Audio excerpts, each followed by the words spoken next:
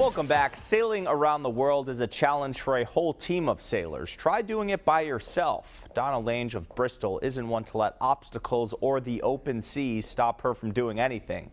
JP Smallens has this week's hometown hero. Got a slog.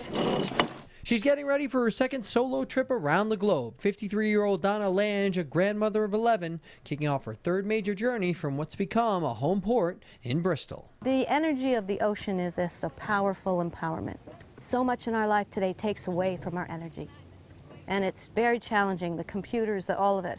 And where do we get restored? I get restored here. The journey will be nonstop, and Lange will rely on celestial navigation to chart her course. It'll also be a green journey, using solar and wind to power her radios and computer, and only sails to carry her boat, Inspired Insanity. She'll also gather testing information for Oceans Watch North America, a group that helps countries develop more sustainable practices for marine consumption and reef stewardship. This is a very unique opportunity for someone who isn't racing, because racers go around the world at, and they go down around Antarctica, much closer. This is going to be a roaring 40s trip. So I'm going to be staying up at the level of about 40 degrees all the way around the bottom of the ocean, just dipping down to go below New Zealand and dipping down to go below Cape Horn. So it's a really a big band of water area and in an area that's not so commonly, um, it's not traversed.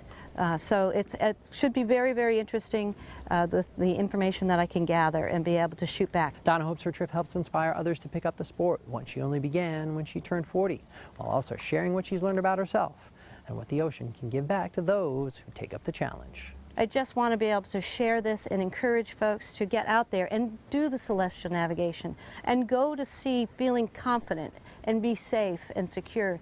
Uh, it's, uh, these are the things that are my goals is to be able to come back and transmit that. It's to experience it myself and write the books and uh, become a whole human being. This trip is because a year ago I knew that I was so out of energy.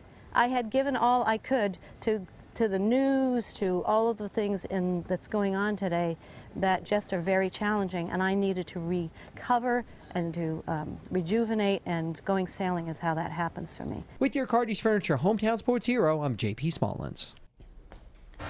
Thank you, JP. And remember, if there's someone you'd like to nominate to be our hometown hero, please send us an email to sports at WPRI.com. It doesn't matter the age or sport he or she plays. We are always looking for inspirational athletes in our area to profile.